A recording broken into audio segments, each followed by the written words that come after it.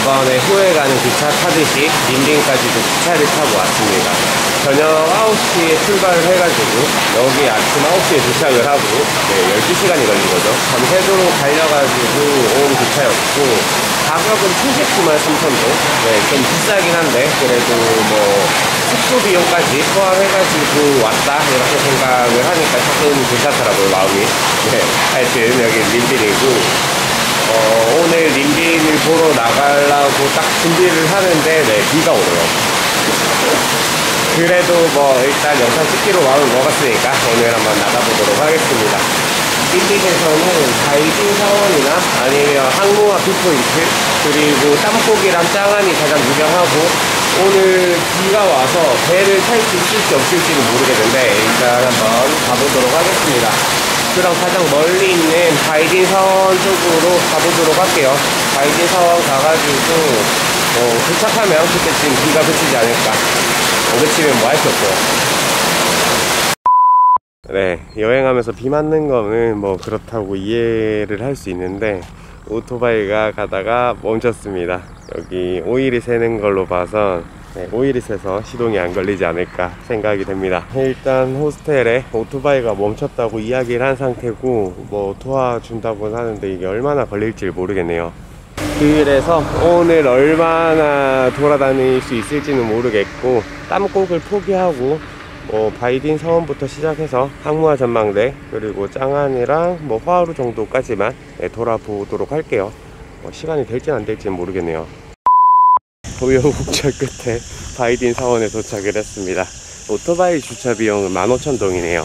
여기 사원이 베트남에서 가장 큰 사원이고 내부가 하도 크니까 한쪽에서 전동차를 운행하고 있는데 전동차 타는 게 3만동 그리고 마지막 파고다 100m 13층의 높이인 파고다에 올라가는데도 5만동을 내야 됩니다.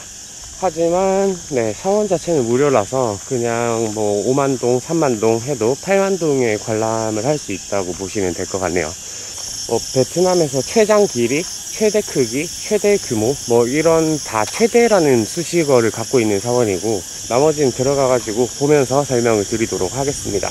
저도 뭐 처음 와가지고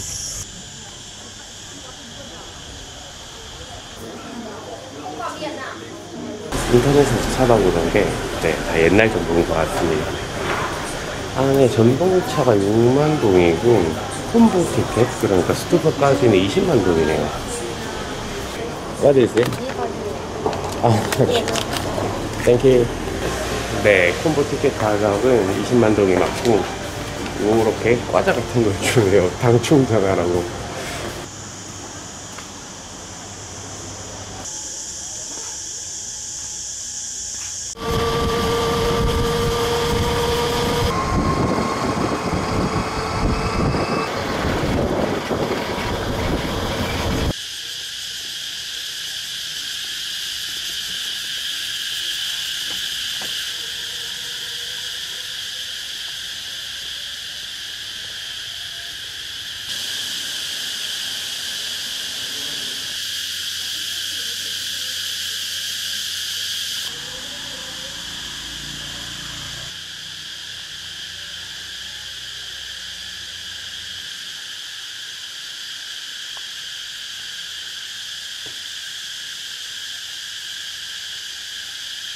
네, 여기는 500 난상 있는 난상 해랑이고 아까 들어올 때 말씀드렸다시피 아시아 최대 길입니다.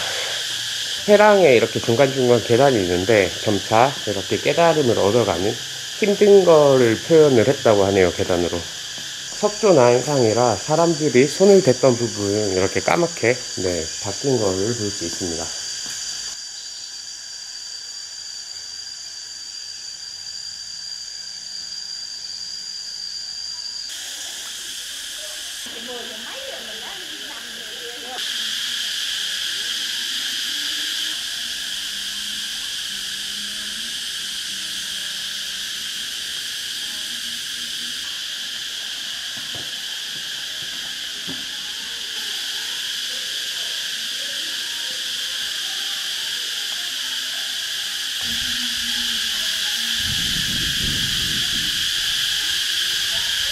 여기 뒤에 보이는 청동종은 후에에서 만들어졌다고 하고 36톤이라고 합니다. 여기 종탑인지 종인지 모르겠으나 베트남 최대 크기라고 하는데 네, 일단 크기가 어마어마한 건 확실하죠. 그리고 아래쪽에 보시면 여기 네, 공명을 위해서 밑에 소리 울려 퍼져 나가도록 저렇게 만든 거가 아닐까 싶네요. 살면서 봤던 종 중에는 가장 큰 네, 이렇게 큰 종을 또 어디서 보겠습니까?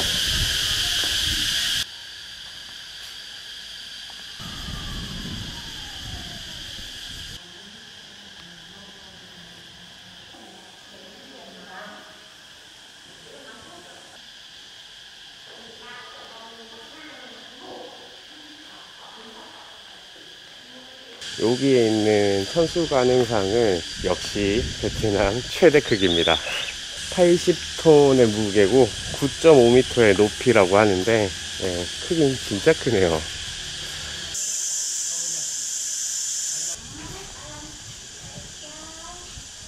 아 이게 패키지 사람들을 보니까 전기차를 타고 올라갔다가 내려오는 게 좀 쉬우니까 내려올 때 난상을 보면서 내려오는 것 같습니다. 저는 회랑이 한쪽으로만 되어 있는 줄 알았는데 양쪽으로 이렇게 난상 회랑이 되어 있네요. 동상이 500개가 넘는 것 같은데 네 일단 500난이라고 소개가 되더라고요. 여기 홀은 100톤의 무게를 가진 청동불상이 있는 곳이고 네 이것도 역시 베트남 기네스에 오를 정도로 제일 큰 석가모니 상이라고 합니다.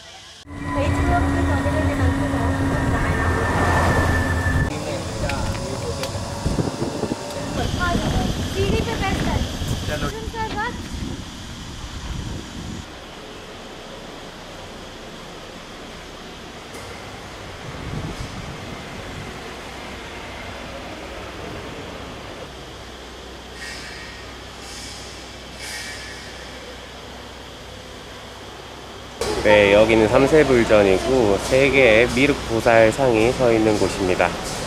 왼쪽부터 과거, 현재, 미래 미륵불을 상징하고 50톤 무게 7.2m 그리고 말씀 안 드려도 알다시피 네, 베트남 최대 삼세불상입니다. 뭐 말만 하면 최대 최고라서 네, 할 말이 없네요. 그러면 뭐 짱안 가서 배도 타야 되고 시간도 좀 애매하기 때문에 여기 산 중턱에 예전에 지어놨던 바이딘 사원이 있는데 거기는 패스하고 시간상 어쩔 수가 없을 것 같습니다.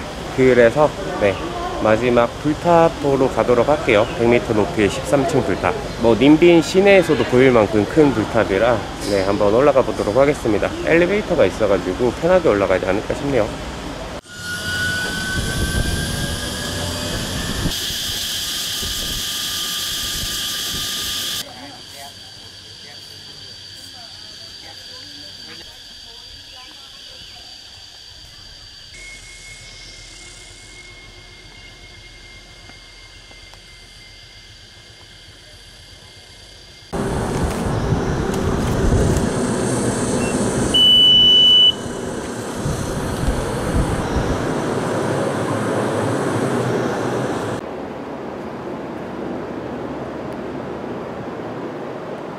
여긴 엘베 타기 전에 신발을 이렇게 신어야 되는 것 같습니다. 엘베는 이쪽이네요.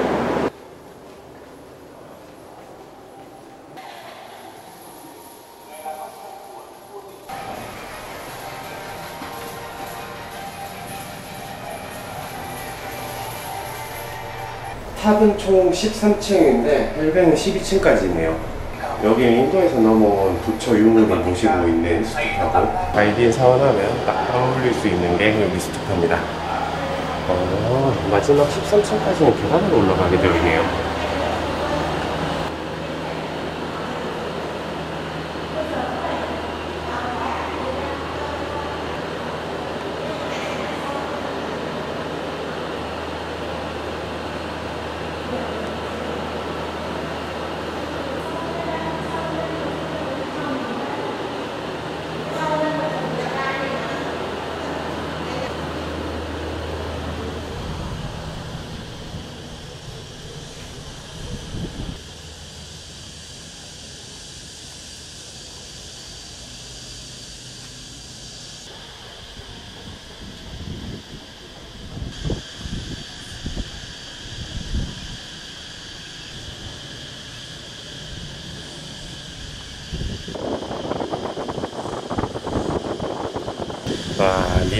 view 진짜 미쳐버렸습니다.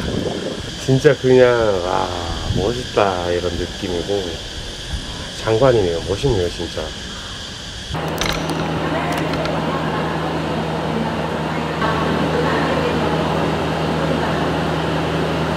여기 스투파 한쪽에는 뭐 부처님 열반하실 때 아니면 설법 전파하실 때 그런 벽화들이나 장식으로 되어 있는 것 같고 네, 이쁘네요. 모양으로 딱 보니까. 그러면 네, 짱 안에서 배 타기 전에 호화루 고대수도 가가지고 막 화려하진 않을 것 같고 거기 잠시 구경한 다음 짱안 가가지고 배를 타보도록 할게요. 네. 배 타고 난 뒤에 그 다음에 항로화 전망대 딱 올라가서 네, 일몰을 보면 오늘 하루가 탁 끝나지 않을까. 땅콩을 못 간 건 좀 아쉽긴 한데 뭐 오토바이가 중간에 터져서 시간대도 좀 애매하고 일단 길 자체가 땅콩이랑 여기 바이딘이랑 반대편이라서 네, 둘다 가기가 좀 애매하긴 하더라고요. 그래서 하나만 선택해야 돼가지고 저는 차간 쪽을 선택을 했습니다. 네. 그러면 화lu 고대 수도로 가보도록 하겠습니다.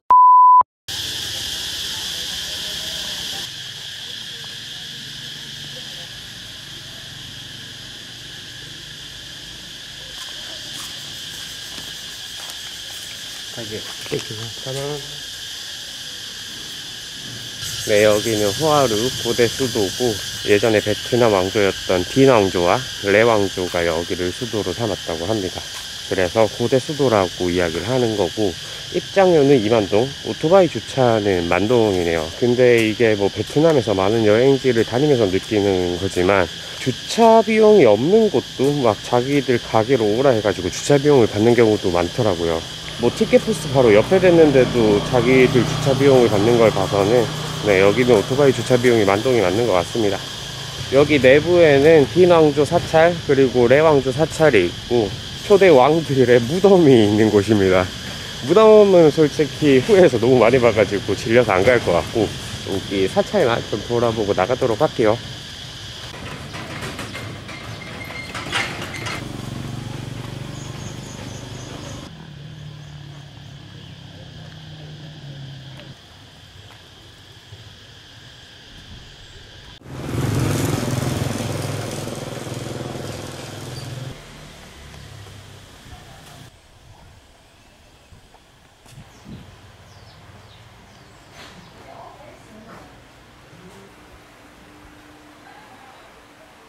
베트남에는 레 왕조가 두 번 있었는데 여기는 전레 왕조 900년대에서 1000년대 네, 그때 당시에 만들어졌던 왕조를 기리기 위해 가지고 만든 사원이고 뭐 따로 베트남 역사를 엄청 공부하고 온 게 아니고 그냥 레 왕조 딘 왕조가 여기 있었고 뭐 호아우루가 수도였다 이 정도로만 알고 와서 그냥 한번 구경할 겸 와봤습니다.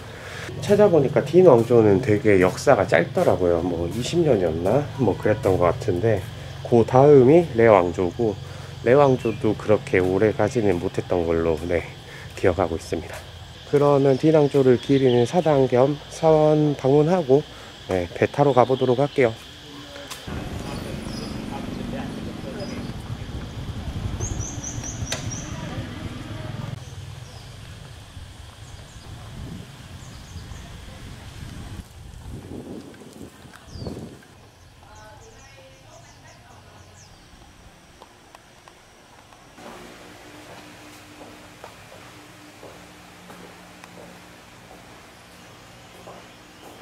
여기 사당은 네 추후에 지어져서 그런지 그래도 깔끔한 편입니다. 네. 인터넷 찾아본 바로는 호화루로 수도를 정한 이유가 김하병이 함부로 돌아다니지 못하는 조금 험난한 지형을 찾다가 보니까 여기 림빈 호화루 쪽에 수도를 두 개 태웠다고 네 제가 인터넷에서 잠시 본 것 같네요. 네 그러면 짱안 가서 유네스코 자연경관을 한번 구경해 보도록 할게요.